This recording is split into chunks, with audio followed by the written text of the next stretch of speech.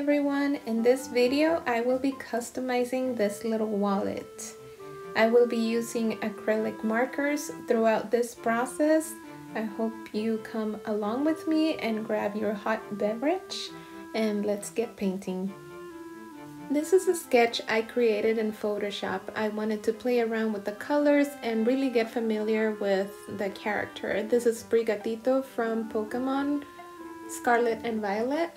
So once I did that in Photoshop, I was able to print just the line art of that sketch and I did it to the size of the wallet so this way I can go ahead and cut around this little figure and kind of use it as a stencil.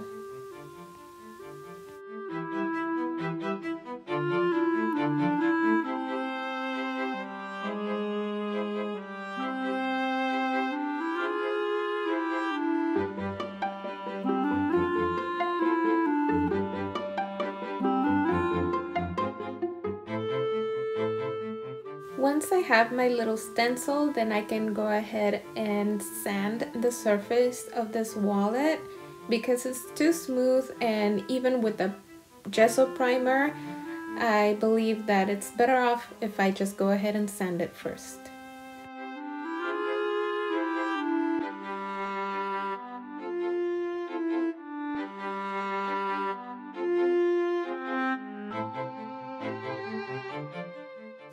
For those of you who are new here, welcome. My name is Karen and I'm a multimedia artist.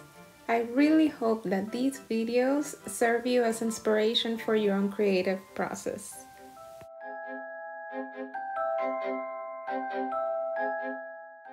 So once I have my gesso completely dry, I go ahead with my white Prismacolor pencil and trace around this little figure that I cut before. This helps me a lot when it comes to sketching the character.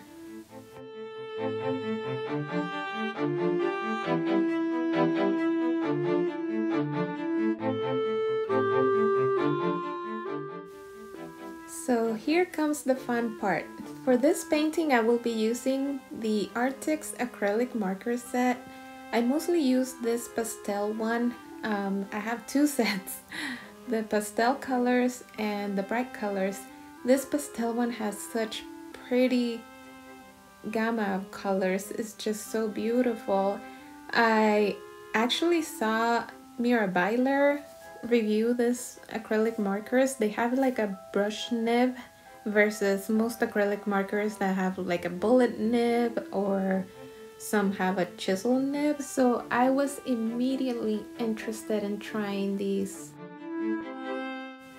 I will be leaving a link down below in the description for Mira Byler's video so you can watch what a beautiful, amazing work she did with these markers.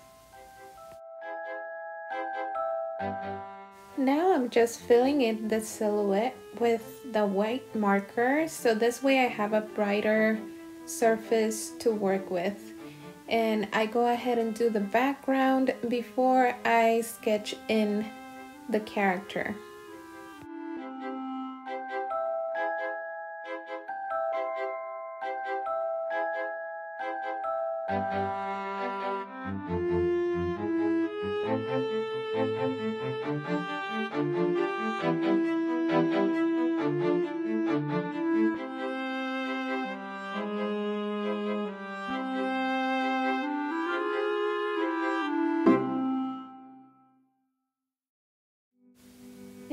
We start painting.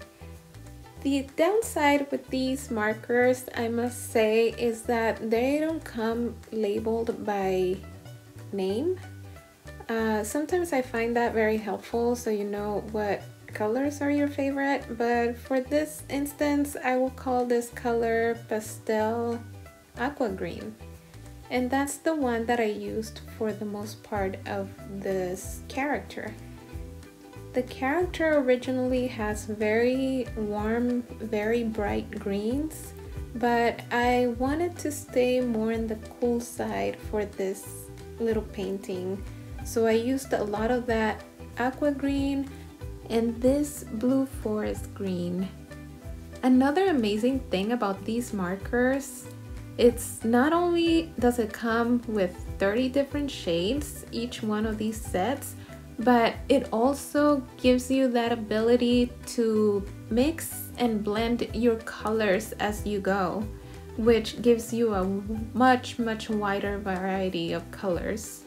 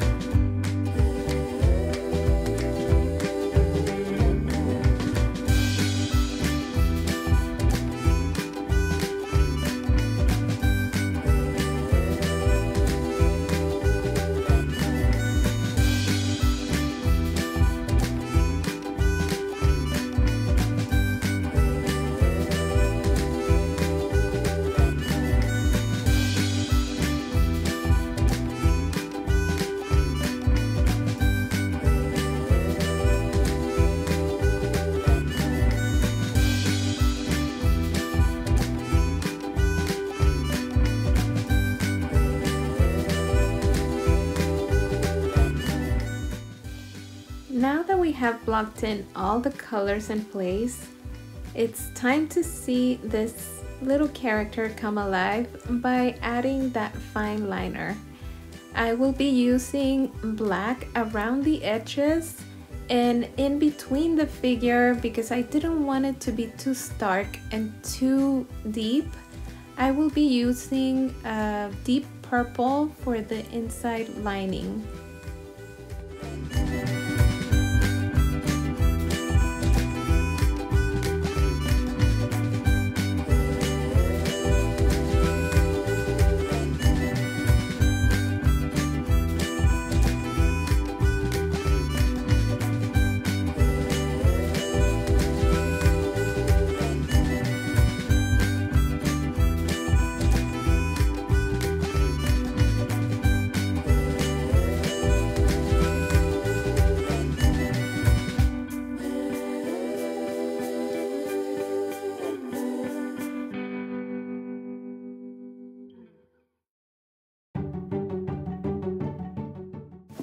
I will be varnishing this with an acrylic matte varnish just because my daughter will be using this as a little purse so it's more prone to scratches and scuffs so I'd rather be preventive and apply that extra coating.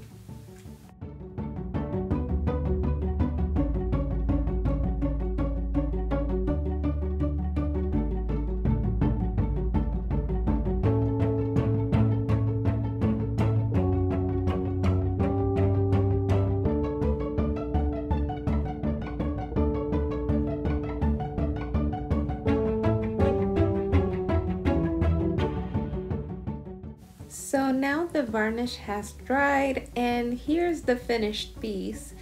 I hope you like watching the process of this little customized painting and I hope I see you here for my next video. Please don't forget to like and subscribe and if you have any suggestions or questions, go ahead and leave them down in the comments below.